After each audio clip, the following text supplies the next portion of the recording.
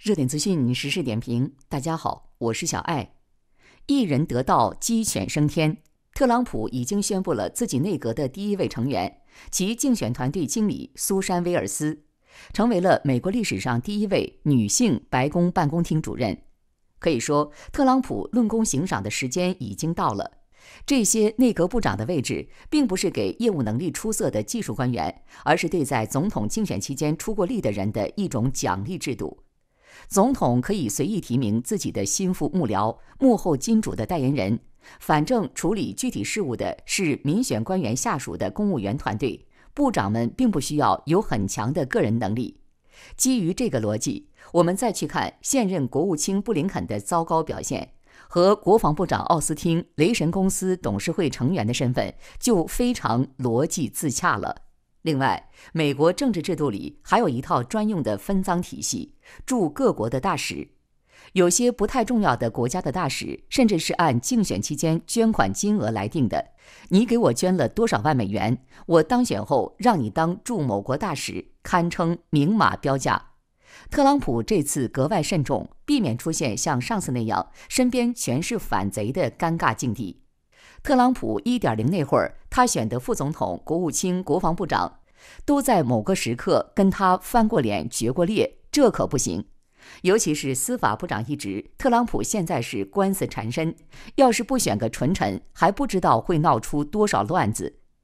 具体人选方面，特朗普1.0时期的最后一位总统国家安全顾问奥布莱恩是对华强硬派，被认为有可能重返白宫。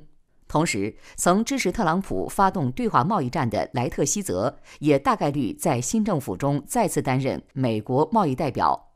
国务卿特朗普正在考虑任命共和党参议员马克·卢比奥。国防部长人选中，麦克·蓬佩奥排名比较靠前。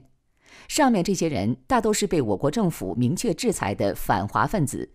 如果卢比奥真被任命为国务卿，他可是被我国拒绝入境的。这里就要说到卢比奥和蓬佩奥的另一重身份了。卢比奥来自特朗普的大本营佛罗里达，自称是古巴流亡者后裔。从进入政坛那一天起，就是一个右翼民粹主义分子。二零零九年，他以三十八岁的年龄当选参议员，靠的是跟茶党关系好。这帮人是特朗普最忠诚的卫士。蓬佩奥的成分没那么复杂，只是美国最隐秘财团科赫家族的代理人。蓬佩奥毕业于西点军校，二零一六年之前，他是堪萨斯州一名平平无奇的议员。二零一七年，特朗普把他提拔为中央情报局局长。可见科赫家族为特朗普助选出了多少钱？这个科赫家族是美国传统能源产业的绝对龙头，是特朗普反对气候变化、反对新能源政策的主要支持者，与美国军工复合体有着密切的关系。他们不是真有多强的能力，纯粹就是为了当官而当官。他们上任之后，也不会把美国的利益放在第一位，都会先办金主交代的事情。所以才会有拜登在任期间煽动俄乌冲突，让军工复合体赚得盆满钵满的事情。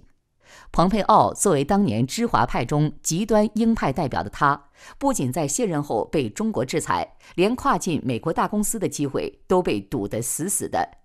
要不是这层被制裁的特殊光环，可能他早在私企躺平赚钱去了。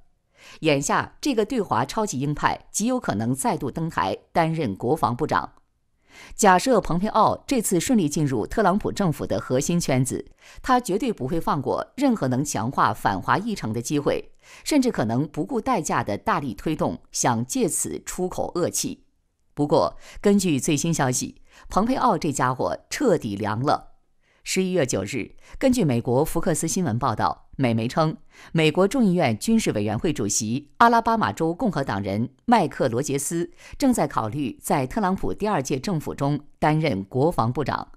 一位熟悉内情的消息人士向福克斯新闻透露称，特朗普过渡团队已经与罗杰斯取得联系。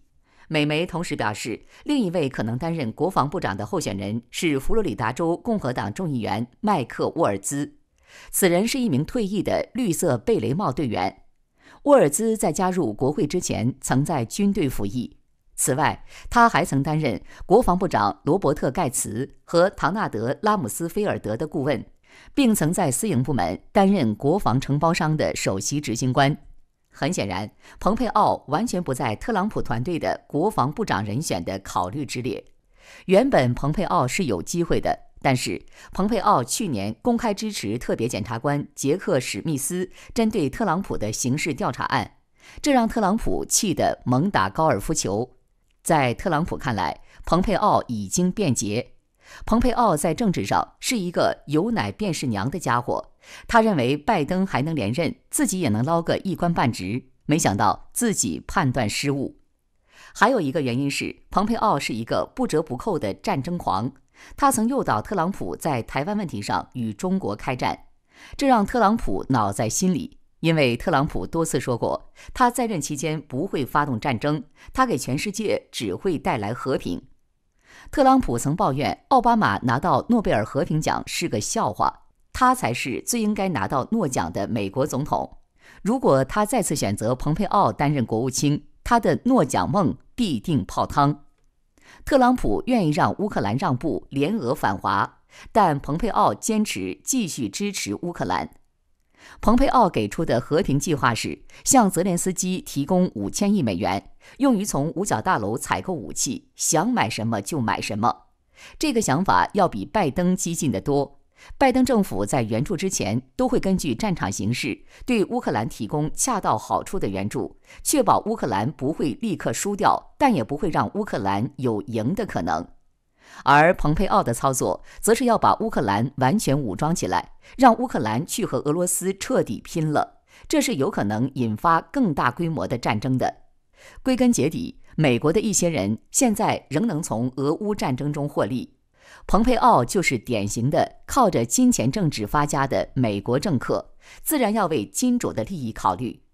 特朗普则不同，他不是美国的那种传统政客，与蓬佩奥有分歧可以说是必然的。不过，蓬佩奥被排除在外，这对于中美两国都是好事情。一方面，蓬佩奥在被我们制裁之列，这也省得其上台之后，中美两国因为制裁发生新的博弈。另一方面，蓬佩奥此人非常的激进，此人甚至一度诱导特朗普在台湾问题上通过军事手段与我们对着干。而在其下台之后，蓬佩奥多次窜访台湾，并呼吁美国承认台湾。现在特朗普另有考虑，并不是坏事。其实中国并不怕蓬佩奥当美国防长，中方一个月前已经埋下伏笔，五个大动作。九月二十五日，东风三幺 AG 洲际弹道全射程发射演练，这是可以威慑美本土的力量。十月十四日，联合利剑二零二四 B 演习就传递出一个信号：如果你要打那儿，我就趁机收复台岛。十月十九号，央视罕见曝光大批东风二六发射车，这意味着可以密集打击美军在关岛的基地。十月二十日，双航母演练画面曝光。总吨位超过三十万吨，导弹垂发单元达到六百八十八个。十一月五日，山东舰航母战斗群被发现在菲律宾海活动，最近抵达了宫古岛以南海域，这对美日威慑意味明显。再加上珠海航展上大量先进武器密集亮剑，中美双方最恶劣的结果无非就是爆发战争。在眼下中方作为全世界第一工业国的情况下，美国如果贸然开战是没有胜算的。源源不断的武器生产能力、庞大的后备力量、科技实力、强大的国家意志和执行效率，在这四个维度，美国都不占优势，又何来担忧蓬佩奥当美国防长呢？本期节目就到这里，感谢大家收看。如果你有一些独到的见解，欢迎在下方给我们留言。祝大家工作生活愉快，我们下次再会。